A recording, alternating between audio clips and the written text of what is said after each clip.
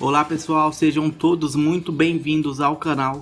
Neste vídeo nós vamos falar sobre o Gabriel Diniz e vamos dar aqui todas as informações sobre o velório e sepultamento do cantor, para você que é fã do sertanejo. Antes de continuar com a notícia, eu peço que deixe o gostei aí no vídeo, pois só assim o YouTube entenderá que o vídeo é relevante e enviará essa importante informação para mais pessoas e fãs. Se você não for inscrito do canal, se inscreva e ative o sininho das notificações. Como todos já sabem, na tarde de hoje, o cantor Gabriel Diniz, que estava em um avião com mais duas pessoas e infelizmente o avião caiu. Nenhum dos tripulantes sobreviveram, infelizmente.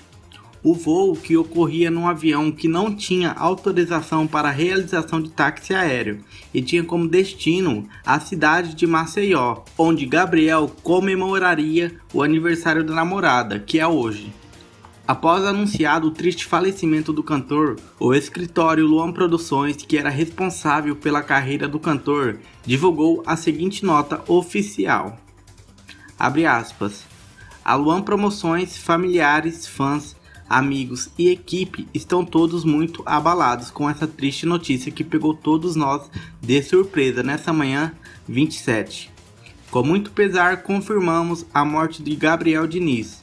O cantor estava em um bimotor que caiu no sul do estado de Sergipe no começo dessa tarde. Sua alegria estará para sempre em nossos corações. Não deixaremos perder a sua irreverência jamais. Você conquistou uma nação com seu trabalho e carisma. Fecha aspas. Após a confirmação da morte do cantor Gabriel Diniz, de 28 anos, foi definido que o velório do artista acontecerá amanhã, terça-feira, dia 28, em João Pessoa, na Paraíba, cidade onde morava sua família, e será aberto aos fãs do cantor, para que possa ser dado o último adeus. Porém, ainda não foi divulgado pela assessoria do cantor o local e nem o horário do velório, mas com certeza deve começar logo pela manhã. Peço que você que está vendo esse vídeo deixe seu comentário aí embaixo com seu último adeus e uma mensagem de despedida para Gabriel, que se foi hoje nesse triste acidente. E por favor deixe o like aí no vídeo para que essa notícia chegue a mais pessoas. Valeu e fui!